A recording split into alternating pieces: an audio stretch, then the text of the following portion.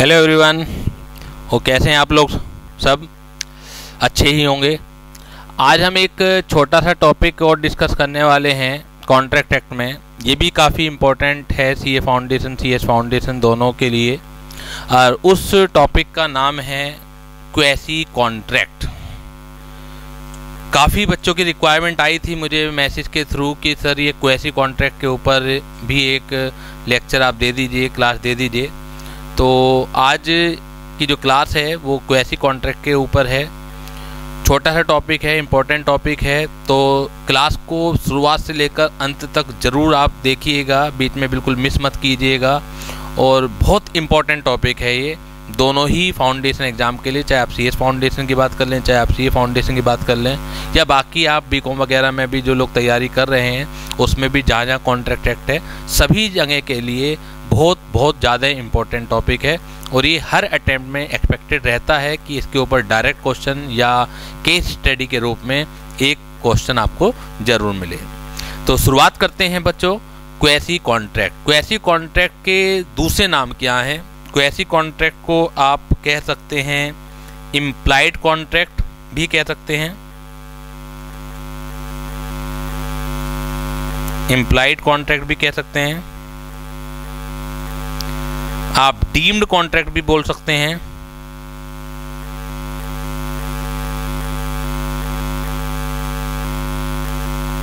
आप implied contract भी बोल सकते हैं डीम्ड कॉन्ट्रैक्ट भी बोल सकते हैं। और अगर हिंदी में हम बात करें तो कॉन्ट्रैक्ट जैसा, यानी कि कॉन्ट्रैक्ट है नहीं ये, जो, लेकिन उस जैसी जो आउटकम है कॉन्ट्रैक्ट के जो आउटकम्स होते हैं, वो उस जैसे ही हैं जो नॉर्मली कॉन्ट्रैक्ट के होते हैं।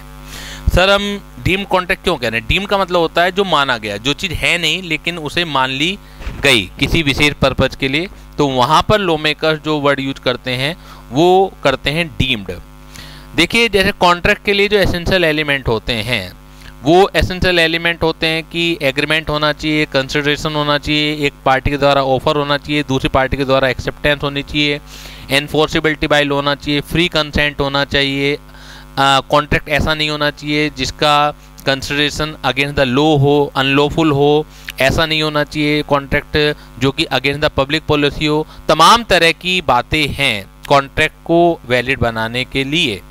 लेकिन कुछ कॉन्सेप्ट ऐसे हैं, कुछ कॉन्ट्रैक्ट ऐसे हैं गवर्नमेंट ने आइडेंटिफाई किए हैं कि इन कॉन्ट्रैक्ट को अगर जांचा जाए, इन सरकमस्टांसेस को अगर जांचा जाए तो वहाँ पर कोई ना कोई एसेंशियल एलिमेंट जो है कॉन्ट्रैक्ट की, वो एक या एक से ज़्यादा एबसेंट होंगी।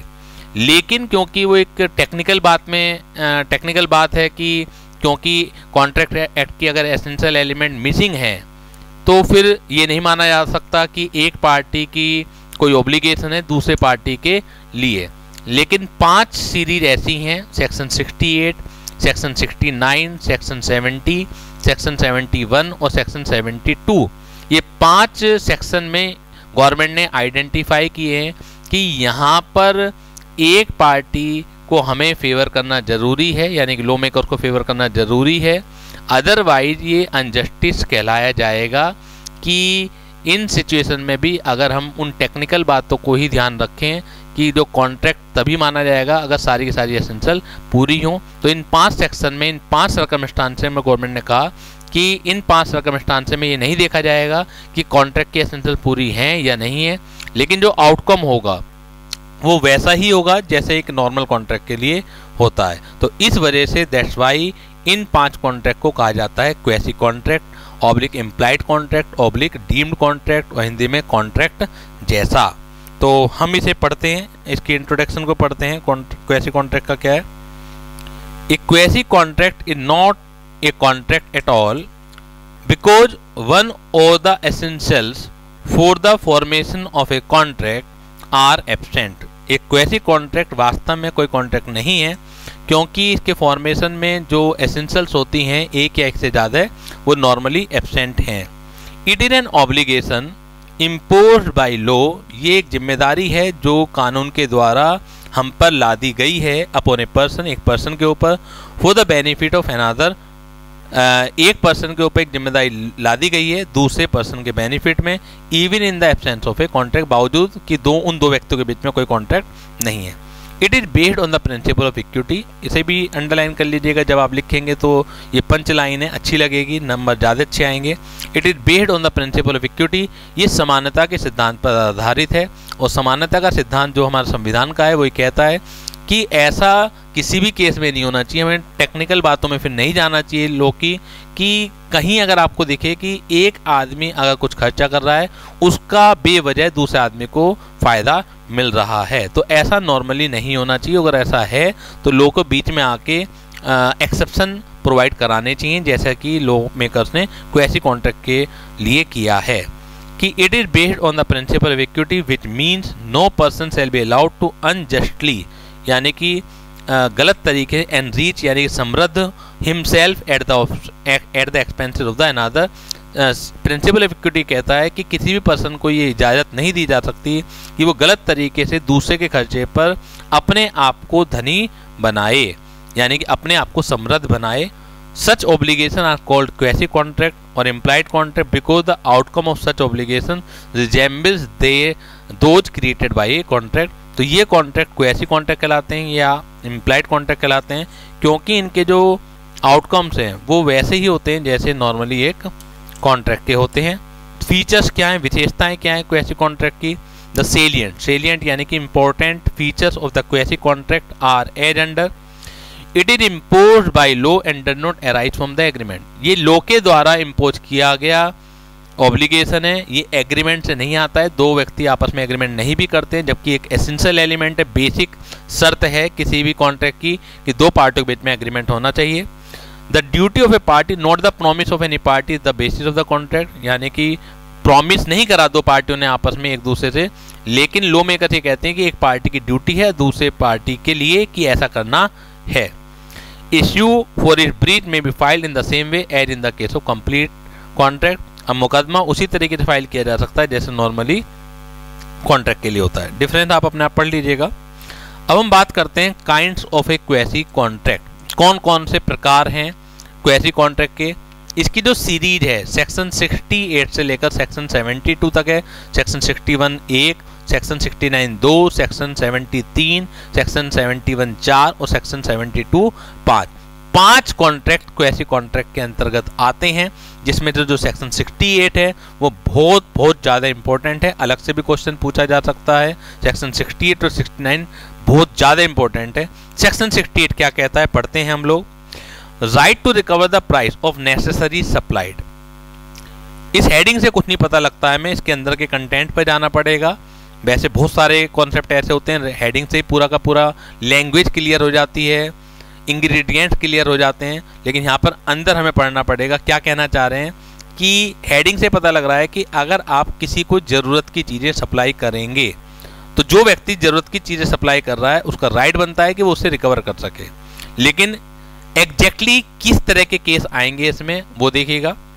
The person who supplied the necessary to a person who is incapable of contract यानी कि हम उस व्यक्ति की बात कर रहे हैं एक व्यक्ति जो है सेक्शन 68 में क्या चीज़ आएगी?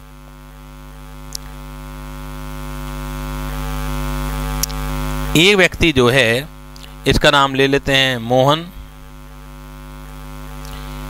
दूसरे व्यक्ति को ज़रूरत की चीज़ें सप्लाई कर रहा है। ये सप्लाई कर रहा है, कपड़े सप्लाई कर रहा है एजुकेशन के ऊपर खर्चा कर रहा है।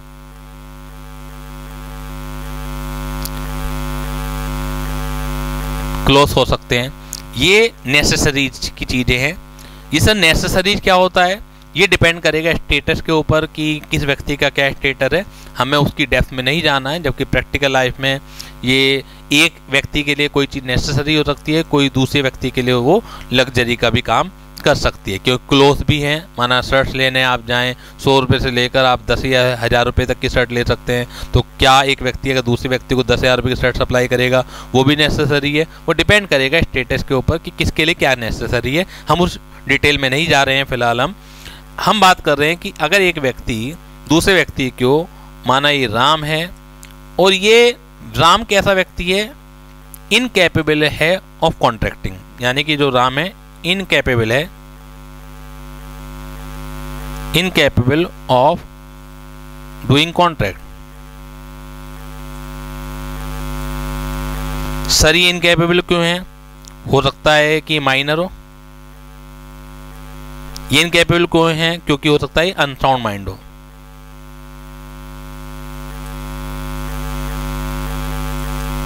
अगर ये इनकेपेबल है कॉन्ट्रैक्ट करने के लिए, और कोई भी पर्सन इस व्यक्ति को सप्लाई करता है। ठीक है? तो आगे क्या लिखा हुआ है? द पर्सन हुए सप्लाइड यानी कि मेरे क्वेश्चन में Mohan the person who supplied the necessary to a person who is incapable of contracting यानी कि मेरे क्वेश्चन में ये जो व्यक्ति है, ये कौन है? मोहन है, मेरे एग्ज़ाम्पल में। और to a person who is incapable of contracting मेरे क्वेश्चन में ये क्या है? राम है माइनर हो सकता है या अनसाउंड माइंड हो सकता है या। और any one whom such incapable person is legally bound to support या एक ऐसे व्यक्ति को जिसके ऊपर ये incapable person legally bound to support है।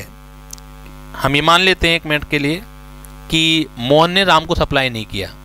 Although Ram is incapable of doing a contract है, लेकिन राम को करा या इसके ऊपर जो लीगली बाउंड है तो इसके ऊपर लीगली बाउंड क्यों हो सकता है? अगर सपोज़ कीजिए अनसाउंड माइंड का व्यक्ति है तो वाइफ हो सकती है राम की। वाइफ ऑफ़ राम हो सकती है। चिल्ड्रन ऑफ़ राम हो सकते हैं। तो जो कि राम के ऊपर लीगली बाउंड टू सपोर्ट है। तो मोहन अगर राम को नेसेसरी की सप्लाई करता है, या उसकी वाइफ को अगर ये अनसाउंड है, उसकी वाइफ को सप्लाई करता है तो क्या करें? Is entitle to claim their price तो Mohan is entitle to claim their price from the property of such incapable person तो मोहन जो है, Mohan is entitled Mohan is entitled to claim their price Mohan is entitled entitled to claim his price against Ram नहीं against wife of Ram नहीं। यानी कि यहाँ पर जो सेक्शन 68 कहता है, वो ये नहीं कहता कि आप राम से रिकवर कर सकते हैं। Is entitle to claim the price from the property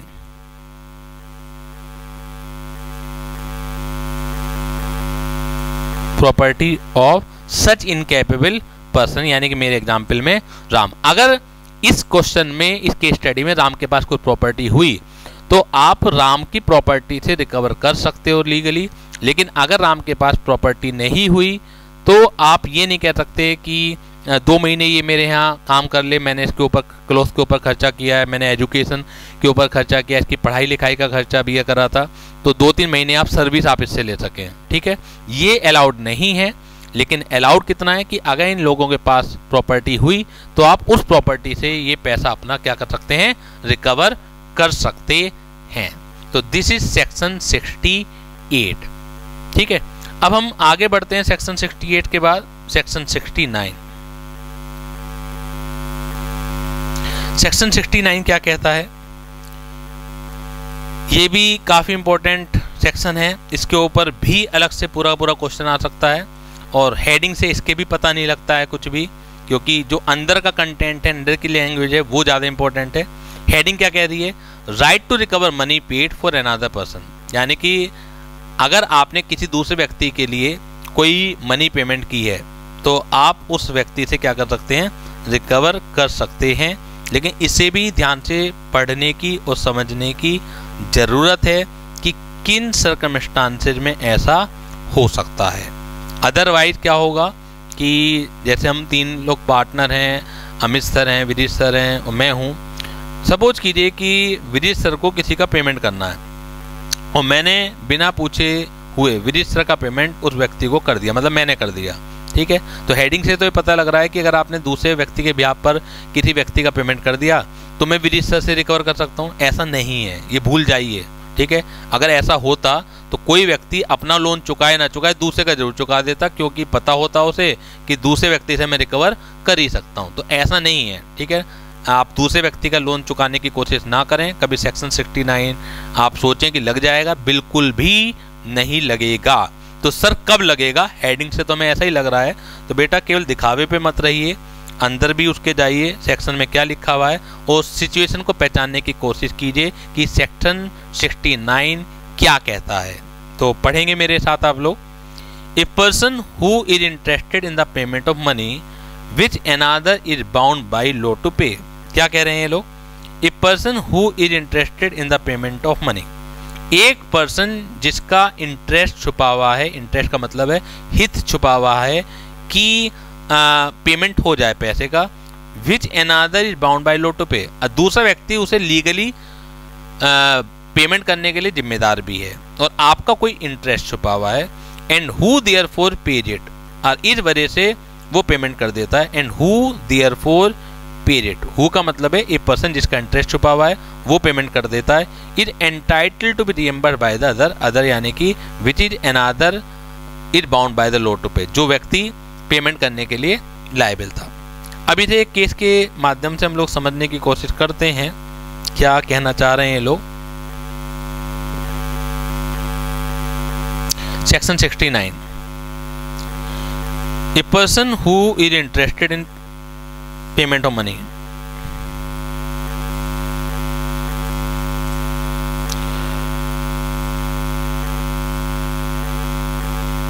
A ले लेते हैं,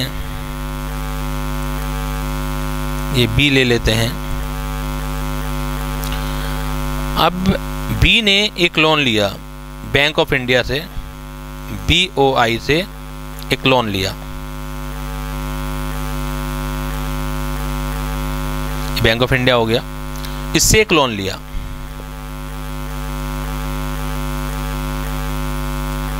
फॉर परचेज ऑफ़ हाउस और जब परचेज ऑफ़ हाउस के लिए लोन लिया तो शर्त होगी कि जो बी है, वो बैंक को समय समय पर क्या चुकाएगा? EMI e चुकाएगा।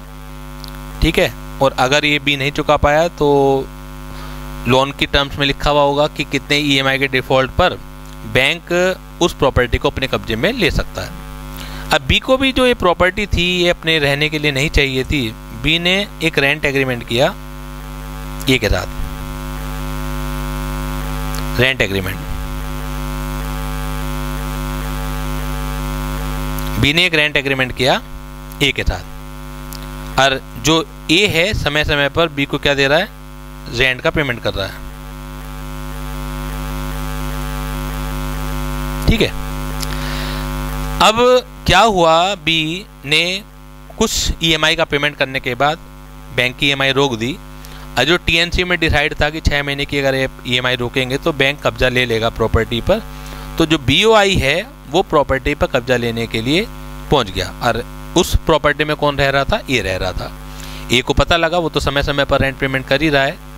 तो बी ने बताया कि आप पंद्रह दिन के अंदर मकान खाली कर दीजिए, हमें कब्जा लेना है। ने पूछा, ऐसा क्या हो गया? ये तो क्यों आप ये आए हैं? मैं तो बी से, जो मकान मालिक है, उससे प्रॉपर्टी को रेंट पर ले रखा है।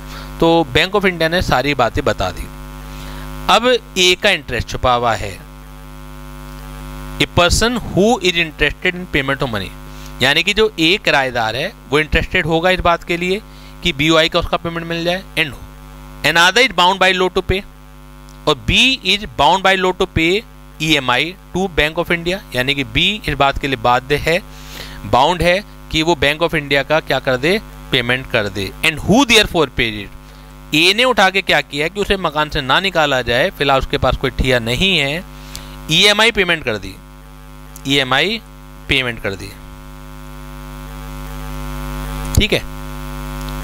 तो A is entitle to recover that EMI from B यानी कि अगर ये सिचुएशन मिलती है आपको, जो मैंने इस एग्ज़ाम्पल में क्रिएट की है, इसके अलावा ये केवल एक पर्टिकुलर केस है, ऐसा नहीं है कि केवल इसी केस में। बच्चे गलती क्या करते हैं? बस केस को याद कर लेते हैं लैंग्वेज को छोड़ देते हैं। अब पेपर में इस केस के अलावा दूसरा केस आ गया। अब फिर एक दूसरे की बगले झांकने लगते हैं कि ये कहाँ से उठ के आ गया है।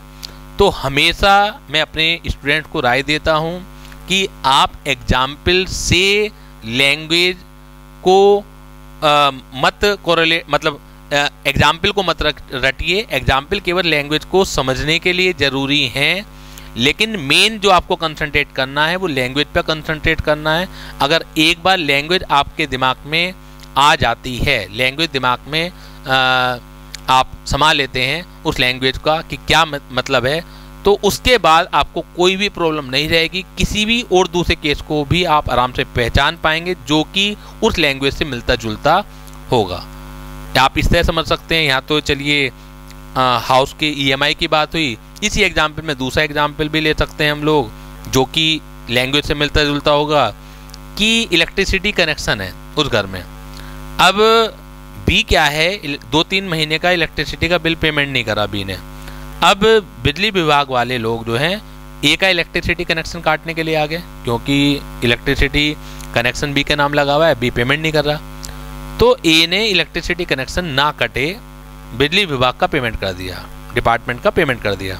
तो जो बिजली का बकाया बिल था, जो ए ने पेमेंट कर दिया, वो बी से रिकवर कर सकता है। क्यों? क्योंकि ए का इंटरेस्ट छुपा हुआ है कि बिजली ना कटे। और बिजली का पेमेंट करने के लिए इलेक्ट्रिसिटी का पेमेंट करने के लिए बी बाउंड है। तो इस वजह से अगर ये पेमेंट कर देता है तो एंटाइटल्ड है, वो बी से रिकवर कर सकता है। तो दो एग्ज़ाम्पल मैंने आपको समझा दी, इसके अलावा भी ढेरों सारे एग्ज़ाम्पल हो सकते हैं। लैंग्वेज पर आप ध्यान दीजिए, ठीक है? अब नेक्स्ट सेक्शन की तरफ़ बढ़ते हैं, वो है सेक्शन 70 सेक्शन 70 क्या कहता है?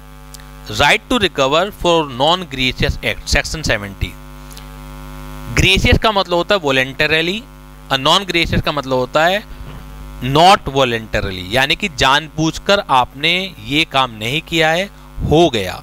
ठीक है? इस केस को भी हम समझते हैं, पहले लैंग्वेज पढ़ लेते हैं, क्या है? Such right to recover arises if the following three condition are satisfied the thing must have been done or delivered lawfully यानी कि जो वस्तुएँ, जो चीज़ें डिलीवर की गई हों, वो कानूनन रास्ते से डिलीवर की गई हों। The person who has done or deliver the thing must not have intended to do so graciously जिस पर्सन ने ये चीज़ें डिलीवर की हैं, उसने जानबूझ के ना किया हो, यानी कि इंटेंशन ऐसी ना रही हो, और the person for whom the act it done must have enjoyed the benefit of the act और जिस पर्सन के लिए चीज़ें की गई हों, जिसे डिलीवर की गई हो, उसने इस एक्ट का फ़ायदा उठा लिया हो, यानी कि चीज़ें यूज़ कर ली हों उसने। ये तीन कंडीशन है, जानबूझ के ना किया गया हो। लीगली आपने डिलीवरी की है, और तीसरा, जो जिस पर्सन के लिए किया है, उसने इन चीज़ों में फ़ायदा उठा लिया है। छोटा सा एग्ज़ाम्पल हम क्रिएट करते हैं। आप कहीं से शॉपिंग करके आ रहे हैं, ठीक है? दूसरी दुकान पर आप गए, जो शॉपिंग का बैग है, क्योंकि दूसरी दुकानदार से आपको बातचीत करनी है बैग आपने रख दिया, किनारे पर रख दिया। थोड़ा सा ज़्यादा समय लग गया, फिर जब आप वापस गए तो आप उस बैग को वहीं भूलिया है ठीक? अब उस दुकानदार ने वो बैग को अपना समझ के यूज़ कर लिया। उसमें कुछ सामान थे इस तरह के, वो यूज़ कर लिया। अब आपने बैग जानबूझ के तो छोड़ा नहीं। वो जो डिलीवरी है, वो लॉफुल्ली हुई है। यानी कि ऐसा नहीं कि रात को गए और उसके दुकान का ताला खोला और वहाँ बैग आप रखे आए हैं। जो लीगली लॉफुल तरीका होता है कि आप गए दुकान पर, आपने सामान रखा अपना और भूल गए। ठीक है? तो लॉफुली ही मानेंगे थे अनलॉफुल नहीं मान सकते इस तरीके को। पहली कंडीशन पूरी, दूसरी कंडीशन पूरी कि जान पूछ के नहीं गया और तीसरी कंडीशन मैं बता रहा हूँ अब एग्ज़ाम्पल में किस दुकानदार ने उस गुड्स को यूज़ कर लिया और बेच दिया या अपने घर में यूज़ कर लिया। तो जब आपको गलती का पता लगेगा, जिस पर्सन से गलती हुई है जो अपना सामान छोड़ आया है वहाँ पर तो उसे ध्यान रिकॉल करेगा, कहाँ पर ऐसा हो सकता है तो रिकॉल करके उसे याद आ गया, ठीक है? वहाँ पहुँचा, दुकानदार भी ने भी मान लिया कि हाँ आपका सामान छूटा था यहाँ पर। लेकिन दुकानदार ये कहता है कि देखिए, ये तो आपकी गलती है, मेरी गलती नहीं है। आप मेरे से क्यों क्लेम कर रहे हैं?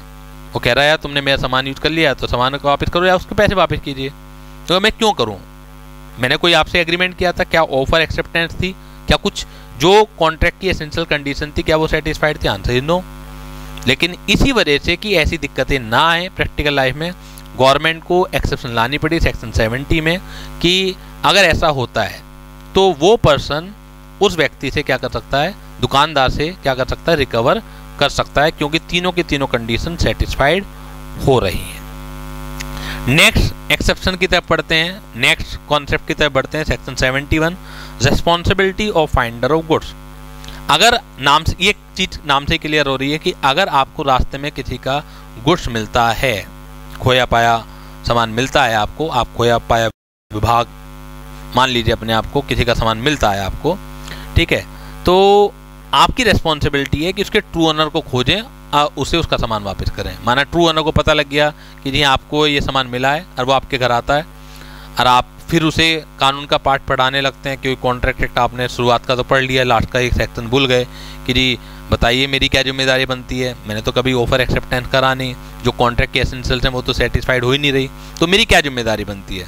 तो लॉ मेकर्स ने इस तरह की सरकमस्टांसेस को भी, इस तरह के केसेस को भी कोई ऐसी कॉन्ट्रैक्ट में डाला है कि फाइंड आउट द गुड्स की ज़िम्मेदारी बनती है ऑब्लिगेशन ऑफ़ द लॉ है नॉट द प्रोमिस है कि आपने कोई वायदा नहीं करा। लेकिन हम ये कानून बताया रहा है, बता रहा है कि जो फाइंडर उसकी ज़िम्मेदारी है कि इसके ट्रू को उसका सामान वापस करे। तो person who find goods belonging to another and take them into custody subject to the same responsibility as a bailee sir ये बेली क्या होता है? बेली एक्चुअली टॉपिक जो आपका सी एंटर का है, फिर भी यहाँ नाम आया तो मैं बता देता हूँ कि जिसका गुड्स होता है वो बेलर होता है और जिसके पजेशन में होता है, जो ओनर नहीं होता, वो बेली होता है। माना फाइंड आउट द गुड्स हैं। तो बेली क्यों कहा गया आपको? क्योंकि आप ओनर नहीं है। आपके पास केवल पजेशन है, इसलिए उसे बेली कहा गया है। डिटेल हम पढ़ेंगे सी एंटर में, तब तक के लिए आप वेट कीजिएगा। और लास्ट जो है सेक्शन 72 क्वेसी कॉन्ट्रैक्ट के अंदर, ये भी नाम से पता लग जाएगा, आपको हेडिंग से पता लग जाएगा। Right to recover from a person to whom money paid or thing it delivered by mistake or under coercion यानी कि अगर एक पर्सन से, वो पर्सन जिसने मनी पेड की है या चीज़ें डिलीवर्ड हुई हैं गलती से, या अंडर कोर्सन कोर्सन, आप जानते हैं फ्री कंसेंट का पहला एलिमेंट है। डरा धमका के, मैं उसकी डिटेल में नहीं जा रहा हूँ। तो उस व्यक्ति का भी राइट है कि जो उससे गलती हो गई है जिससे उसने मनी पेमेंट कर दी है, उससे रिकवर कर सके। इसका छोटा सा एग्ज़ाम्पल इंटरेस्टिंग इंटरेस्ट एक एग्ज़ाम्पल है इसका कि आप किसी के पेमेंट आप किसी के बैंक अकाउंट में कुछ पेमेंट जमा करा रहे हैं। ट्रांसफ़र करते हैं। आज की तारीख में ऑनलाइन बहुत सारे होते हैं। किसी ने आपको अपना अकाउंट नंबर दे दिया आईएफएससी कोड दे दिया आप उसके अकाउंट में सब उसके दस हज़ार रुपये जमा कराने और जरा सा भी अकाउंट नंबर इधर से उधर हो गया, आपको जमा कराने थे मोहन के अकाउंट में, जब पहुँच गए सोहन के अकाउंट में, ठीक है? बाद में गलती का पता लगा। मोहन ने जब आपको टोका कि मेरे अकाउंट में तो पैसे नहीं आए, पता लगा कि सोहन के अकाउंट में पहुँच गए। तो आपने बैंक से डिटेल निकलवाई सोहन की, सोहन से संपर्क साधा, उस सोहन से कहा कि गलती से आपके अकाउंट में मैंने पैसे जमा करा दिए प्लीज़ वापस कीजिए। सोहन इस बात से मुकर जाता है कि मैं क्यों वापस करूँ? गलती आपसे भी आप भुगती है इस चीज़ को। तो सोहन मुकर नहीं पाएगा क्योंकि सेक्शन 72 ए कहता है कि अगर एक पर्सन से गलती हो जाती है और मनी उससे पेड हो जाती है गलती से किसी और पर्सन को या थिंग्स जो हैं डिलीवर हो जाती हैं तो उसे वापसी लेने का राइट बनता है। तो this is section 72 a person to whom money has been paid or anything delivered by mistake or under coercion must repay or return it तो ये टॉपिक भी हम इस समाप्त करते हैं। क्वेसी कॉन्ट्रैक्ट का अच्छा टॉपिक था, छोटा सा टॉपिक था। ये काफ़ी इम्पोर्टेंट टॉपिक है, जो कि हर अटैम्प्ट के लिए रेलेवेंट है। तो इसके अलावा भी आपको समय समय पर और क्लासेज में देता रहूँ तो इसके लिए आप मुझे लिख सकते हैं मैसेज कर सकते हैं, ठीक है? जिससे आपको समय समय पर नए नए टॉपिक के ऊपर क्लासेज मिलती रहें। तो तब तक के लिए थैंक यू